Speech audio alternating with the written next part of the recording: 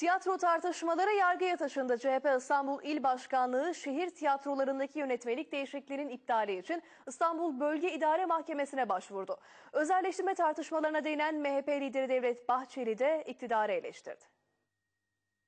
Eski yönetmeliğin 7 kişilik yönetim kurulundan 4 tanesinin sanatçı olması zorunluyken yeni yönetmelikte sadece genel sanat yönetmeninin olması yeterli kılınmıştır. İstanbul şehir tiyatrolarındaki yönetmelik değişikliği CHP'yi harekete geçirdi.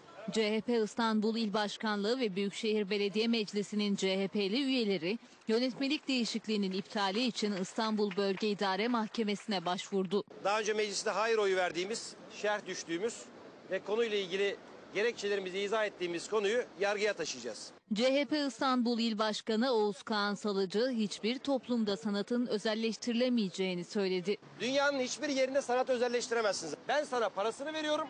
Dolayısıyla benim anladığım şekilde sanat yapacaksın anlayışı herhalde sadece 2012 yılında Sayın Recep Tayyip Erdoğan'ın zihninde kalmış bir anlayıştır. MHP lideri Herkese Devlet Bahçeli'nin gündeminde de tiyatroların özelleştirilmesi tartışması vardı. Merak etmekteyiz ki tiyatrocular halkın parasıyla halkı bu zamana kadar nasıl aşa aşağılamışlardır.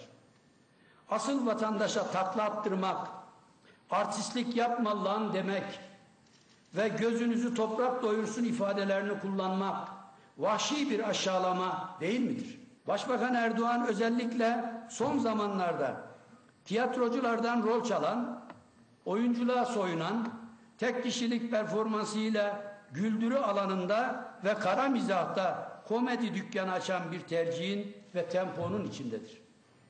Aslında bizatihi kendisi Bop'un gölge oyununda dublörlük ya, dublör oyunculuk yapan, CHP Genel Başkanı'yla Hacivat Karagöz rol paylaşımı ile itişen yeni dönem siyaset meddahıdır.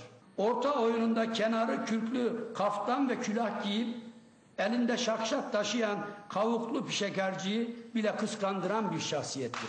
Bahçeli Erdoğan'dan tutumunu değiştirmesini istedi. Başbakan Erdoğan ve zihniyetinin tiyatroya ve tiyatro sanatçılarına gösterdiği kaba ve ölçüsüz davranışları son bulmalıdır. Yoksa zaman gelip de AKP'nin son perdesi indiğinde başbakanın etrafta bakacak yüzü ve ileri sürecek mazereti bu gidişle kesinlikle olmayacaktır.